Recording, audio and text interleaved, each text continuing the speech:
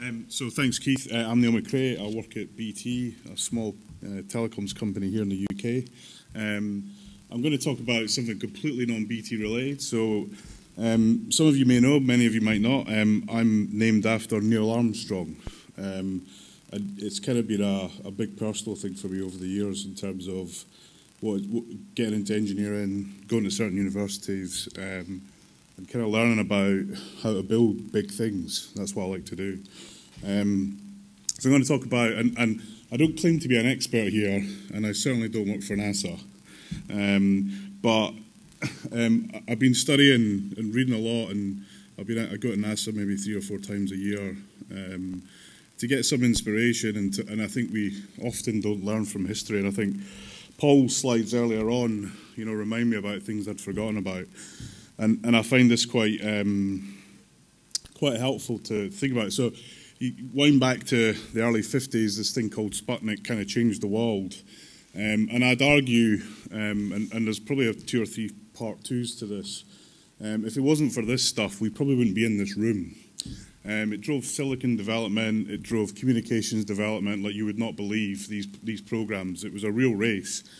Uh, sadly, also tied to defense. So um, you know, everyone's out campaigning for nuclear disarmament, which is a great thing, but a lot of that technology brought us to where we are today. Um, and, you know, fortunately, we've turned that into a, a somewhat of a good. Um, so three programs, Mercury, Gemini, and Apollo. Um, and, and, a lot of people forget about Mercury and Gemini, especially Gemini. Not, not a lot of people think about that.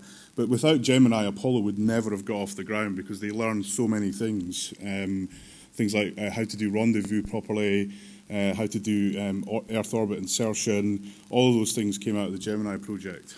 Um, and, and what the one thing I take away from this um, is this program was about people. Um, it had probably one of the highest, at the, at the point in time, one of the highest um, diversity rates in any project in history, uh, with an unbelievable number of women um, and ethnic minorities in it. Um, and also a huge number of young people the, the average age um, for most people working on this project was a kind of early to mid 20s. Um, and, and occasionally in Houston, they have a problem. Um, the, the, the driver for spaceflight, the thing that they realized very early on was without, there was so many things to do that one or two pilots could never do it all. So it required some help i.e., mission control. And actually, when mission control was started, it was actually called Mercury Control, and the manned space flight network was actually called the Mercury Space Flight Network. So, so you know, when it started, they didn't really know how far this was going to go. Um, this is uh, a mock mission operation control room at, at, Houston that you'll have all seen probably in uh, the Apollo 13 um, movie.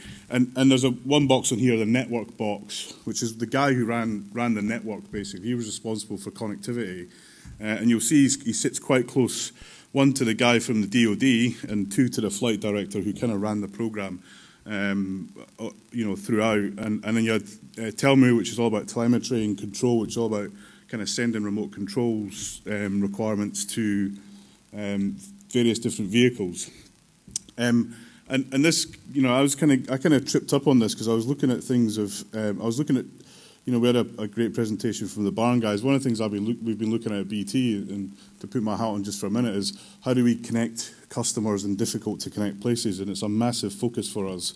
Um, and and you know, this is kind of what tripped me on to looking at some of these things. And, one of the things that came across um, was actually Apollo was a CDN, um, ApolloNet. They had to deliver voice, so you know, conversation between uh, mission control astronauts, presidents, and other famous people. Uh, telemetry, what's actually going on. Um, and it's sad to say that I think um, back in the 60s, they had better telemetry than we have on our networks today, and it's something I've, I've taken a lot of uh, insight from. And command, being able to send controls. And at the time, particularly in Apollo, um, one of the things that really um, moved the project forward and got money for it um, was video, actually seeing what was happening. And if you reflect what was happening in, in the Soviet Union at the time, um, pretty much all the missions that were ran out of the Soviet Union were done in secret. So, they, so uh, the other big challenge, let me just probably put these in slightly, slightly, wrong order. The other big challenge was weight. Um, launching something into space, your big big focus is weight, and you see that in, in, in launches even today. So the notion of, of having to do a multi-service network, voice, telemetry, command, and video, um, you really needed a way of doing that cheaply. So they looked at actually the same frequencies we pretty much use for Wi-Fi and UMTS today. Um, and, the, and, in effect multiplex that with, with um, subcarriers to carry all the different um, things that they needed to carry. The beauty of that was um, they could put one box in each unit, and it was kind of a similar box, save a lot of weight, save a lot of, of, of investment. And then with that, they could standardize some of the components around um, aerials, antennas, and, and the, the control devices. So all the, all the different, and, and remember, all, most of these systems inside um, the spacecraft and mission control were autonomous. They really didn't talk to each other. The, the thing that brought the systems together were the people back in mission control. Um, on this slide, you see where what kind of bands were used, and, and pretty much S-band, which is 2 to 4 gigahertz, um, is used. And today, even in the, the ISS, it's the same band that's used. Um, interestingly, I met um, uh, Gene Cernan recently, who was the, the last man on the moon. If you haven't seen his movie, go see it. It's phenomenal. It's just, just out in the UK now. Um, and um, one of the backup systems for communications was Morse code, believe it or not. And, and he, you know, I was asking, as part of this, I've been asking people, a lot of these guys, you know, what, what was the impact of communications? And, and you know, um, one of the feedbacks I got was if, for Apollo 13, if they'd lost comms, it would have been game over for the astronauts. They just wouldn't have come back. There's no, no question about that whatsoever. Um, so Morse code was the backup, and Gene Cernan made the comment that he spent more time learning Morse code than he did learning to fly um, the, the, the, the, whole space shuttle and, and the, sorry, the Apollo rocket, Saturn V, and, and the, the lunar lander, to the point where it became a big issue for them. Um, and they actually started to look, if there'd been an Apollo 18 and 19, which sadly there wasn't, they actually had started to look for another way of doing backup comms because it was the overhead of doing it was just too difficult. Um, the, and then the other thing that, that this telemetry was used for um, when when um, the Apollo missions landed on the moon, they had um, what they call ALSEP, which was a bunch of scientific programs. There was a, a, a kind of a laser thing that would actually measure how far uh, the moon was, and actually that was still running until very recently. Um, there's a bunch of other seismic experiments um, that were there that were left there and ran for some years after. Um, and, and, one of the big challenges they had, and, and, and it kind of feels crazy thinking about it now, was actually explaining to people the concept, a concept that today we would take for granted. So, a guy on the moon relaying comms to his buddy or off the, off the, the uh, LEM back to, the, back to Earth, people couldn't visualize that because it really hadn't been done before. You know, today we take mobile phone and texting and Facebook kind of for granted, but in order to get the systems that they needed to be built, they often came up with kind of drawings like this to say, well, this is how we think this would work.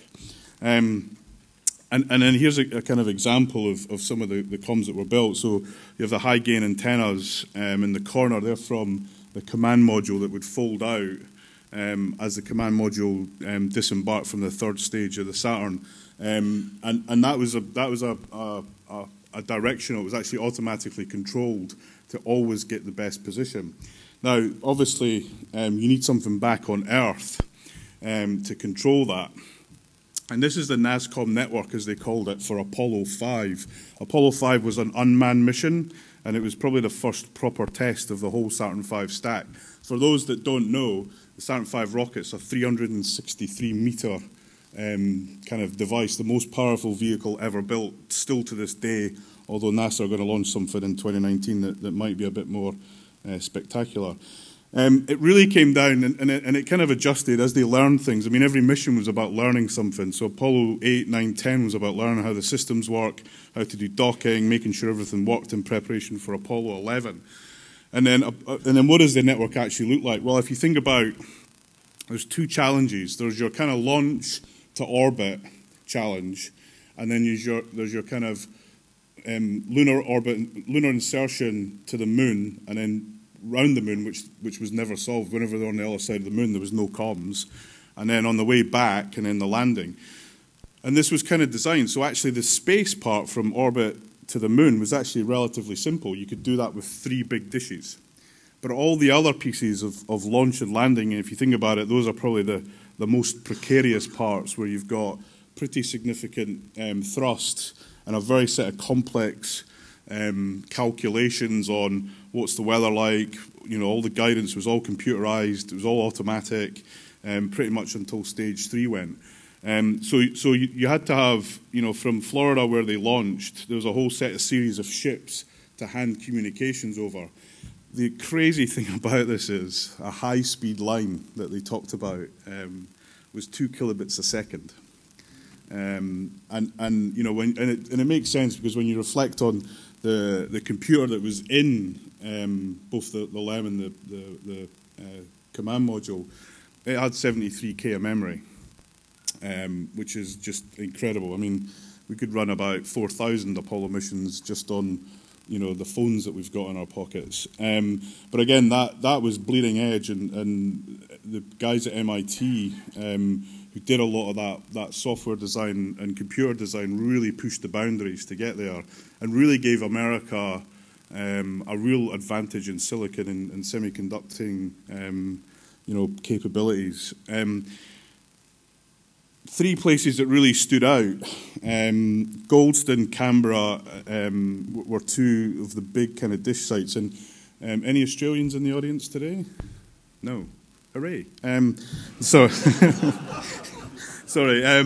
Because uh, um, normally they kind of ra- on about how great this was for them. But I mean, I, seriously, there's a film called The Dish. I don't know if anyone's seen it. It's a bit of a comedy, but actually based on a true story. If you haven't seen it, I recommend it. And it, and it kind of shows you the challenges. And, and, and in this world, you know, if you go back to this map, um, they had a whole load of kind of diplomatic envoys at various parts of the world kind of take it, you know, when there was a big important part of the mission, the, the envoys would go out and, and kind of take people to dinner so that they couldn't interfere with what was going on with the mission at that time. There's this huge kind of plan around it. It's not well publicised, um, but it's something that happened. And, and I, I, met one of the mission controllers, um, Gene Kranz, a few weeks ago, and I, was, I asked him about communications, and he said his big challenge was keeping all the stations going. Particularly, there's some, some places in Africa they were having to use where the kind of regime changed every week, um, and they were having to kind of continually fun funnel money to keep them happy. Um, the other big place was Spain, um, and this is what, what the, the, site just outside Madrid looked like in 1969.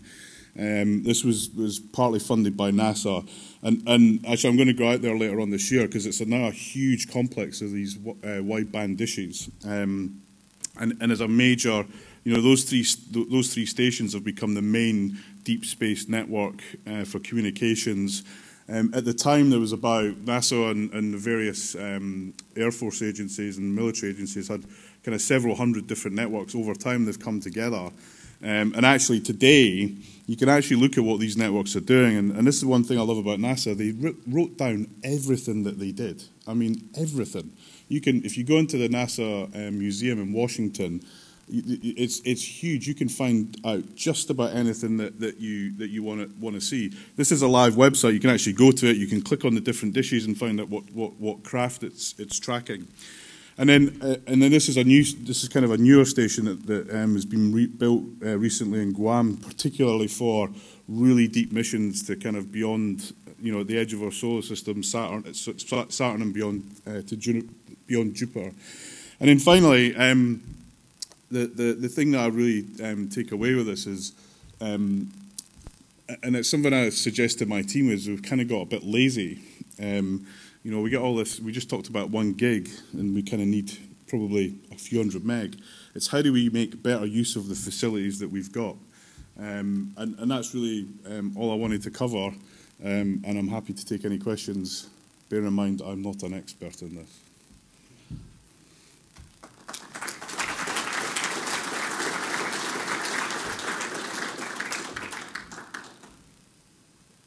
No questions. Oh, here we go. Actually, Martin was at one of the Apollo launches, and he was resurrected afterwards. I'll ignore that. um, yeah, Martin Levy, Cloudflare, but it's got nothing to do with that. Um, I'm going to not do the token Australian response to you, actually, okay. but, but if, if I don't know if anybody else has been uh, out there. Uh, anybody else actually visited Parkes? No. Okay, so there's this movie called The Dish that you mentioned. Yeah. If you go to Sydney, Australia, drive six hours east, yeah. which is a tiny percentage of Australia. Um, West. Yeah, west. yeah, that way, west. Um, well, you know, it's the, the other hemisphere, doesn't it swap? No. um, anyway, go visit the dish. Um, it, it, it, it's, it, it's this frigging enormous uh, radio telescope uh, dish that was used um, uh, for, for Apollo and other, other missions. Still But- in use. Still in use and it's today. still sorry, it's for still in use today. Yeah. Um, it, it, it is geeky as heck, and I don't know if this is the right audience to convince people to do geeky things, but um, go do. I've been out there three times, um, and and it's just totally fun. But the second part of the, if you go out there, stay overnight or even stay for a long, spend some time at night, and just if you've got time lapse on, which everybody has on a phone these days, just time lapse this dish wo- wo- working at night. It, it is it is something amazing. And go Yeah. watch the movie to see why it's important. But there is, in fact, an exhibit there, that's what I was going to say, about the Apollo 11, about the, Yeah. what, what they were involved in. And um, it was so close to not getting that video. Uh, it was quite, I mean, the Oh, yeah. movie covers it, but some of the equipment's there. And the last part, which is really cool for me, they still have a working PDP 1145 that does all the positioning for the dish because, well, it works. And, and, and it just works, and that's it. And there's a bunch of Visual 100 terminals all burnt in that still are there. Um, i- it's worth trying to get a tour, but that, that, took, Yeah. that took quite a few emails on my part when I did it. Yeah, I, I think there's. The, I mean, the one, there's a couple of follow-ups I, I'd love to do on this. Is one is the computing power that was used then, um, and, and actually, I'm I'm very very privileged. I'm going to visit in um, Kennedy. They've still got one of the computer centres that they literally just turned the lights off. I'm I'm going to see it in about a month's time. Um, and and, it, and literally they just turned it off because they didn't have the money to decommission it, so they just shut it down. Um, and I think there's a there's a huge story on that, and, and then and then how that evolved into SAGE, which is a missile defense network that the that the US built, which is ultimately it was all built by IBM predominantly. It's ultimately the founding parts of what we now recognise as, as the internet, and, and I'll, I'll, I'm hoping that if the program committee can be bribed, um, I might bring you that some of that story. One more question, I think. Oh, sorry, Mike, I didn't see Um, you. yeah, uh, I think I think yeah, the shi the whole sort of ship in a bottle of that shut down computer centre sounds absolutely fascinating. Um, the other thing is actually, if you're local to here, you'll, you'll know anyway. Um, there is a radio telescope not very far from here. It's sort of over there, the other side of the airport, which is Jodrell Bank, and that is again another functioning radio telescope. Um, it's huge, it's brill, and the visit, visitor centre is quite fun, and, and they do TV from there as well. So when they do uh, stargazing with um, Dara Ó Briain and, and, and Brian Cox talking about millions and billions of stars. Yeah, I mean, I- Um, I think, uh, that's that's where that comes from, and I- that's I only should- just out yeah. there. So if you've got time while you're up here and you're not local to Manchester, go over tomorrow. It might be it's worth the trip. That's a good point. I went so BT. I don't know if you know we've got BT archives in Holborn, so I went there to have a look to see if there was anything that we've been involved in um, from this program, and, and we were involved in a couple of it was Ben the GPO or whatever it was called. We're involved in a couple of the, the, the landline things, but nothing as exciting as, as this dish. One more question, and I think we have to wrap it up. Otherwise, I'll get carried off the stage. so, thank you. A very brief remark on, on uh, another very cool bit of space technology that actually uh, inspired dnsdist. And you can see it, it's at the, in the NSA museum uh, next to the NSA um, in Maryland, National Cryptologic Museum. And there they had the problem that if you want to communicate with a satellite, you want to be the only one that is communicating with that satellite. Yeah. Uh, NASA has to be really, they, they actually will comment about everything in spaceflight. They're very open. The moment you ask, well, what is the crypto with the Hubble Space Telescope, they escort you out of the room. Yeah. Um, there is a device uh, that's in the uh, National Cryptologic Museum, and that's the crypto box that was a sort of serial proxy that is used to communicate with satellites. So it sits there. It's a little black box. The NSA delivered it, would not tell anyone how it worked, and they would deliver two of them. One of them was downstream, one of them was in the space segment. And whenever a satellite would fail, everyone would blame that box because it was a secret box, no one would tell you how it worked. So they said, yeah, we are sure that the satellite is fine. The reason we cannot talk to it is that NSA damn box. NSA box. And then the NSA did something clever, and that's actually inspired dnsdist. They made that machine earn its weight, quite literally. So what they did is said, okay, it's doing all this secret crypto stuff that we're not going to talk about. But next time you blame uh, us for the satellite being down, sadly, our little box provides its own telemetry. So the box could provide statistics on how well your link was doing and how many crypto failures there were, and also crucially the temperature, the temperature of your satellite. And that allowed them to say, um, sorry, uh, our box is up, we can talk to it, but I can report that your satellite is at zero Kelvin, which probably means that you messed it up.